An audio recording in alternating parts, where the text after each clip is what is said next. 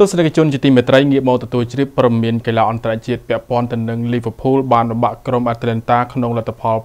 5-0ខណៈកីឡាករខ្សែប្រយុទ្ធ Jota ធ្វើបាន hat-trick ក្នុងការប្រកួត Champions League ក្រុមខ្លាំងមកពីអង់គ្លេស Liverpool រកបាន3គ្រាប់បន្ថែមក្នុងការប្រកួតវគ្គសន្សំពិន្ទុលើកទី3ក្រោយពីបំបាក់ក្រុម Atlanta របស់អ៊ីតាលីក្នុងលទ្ធផល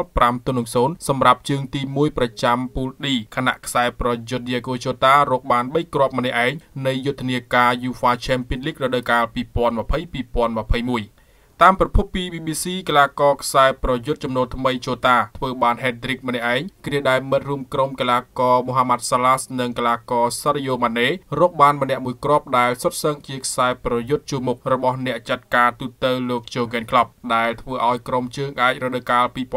2018-2019កំពុងឈរលើកំពូលតារាងពូល D បណ្ដោះអាសន្នដោយប្រកួតបន្ទាប់ត្រូវបើកទ្វារ Anfield ទទួលក្រុម Atlanta វិញម្ដង សម្រាប់ការប្រកួតវគ្គសន្សំពិន្ទុប្រចាំពូល D នៃពានរង្វាន់ក្របខ័ណ្ឌអឺរ៉ុប UEFA Champions League ក្រុមហងក្រហម Liverpool ឈរលើកំពូលតារាងមាន9ពិន្ទុបណ្ដោះអាសន្នដោយមានក្រុមអាសាដែលបានឈ្នះក្រុម Midtjylland ក្នុងលទ្ធផល2-1និងមាន4ពិន្ទុស្មើជាមួយក្រុម Atalanta ឈរលើរៀងទី3ពីលើក្រុមបាតតារាង FC Midtjylland របស់ដាណាម៉ាកគ្មានពិន្ទុរាប់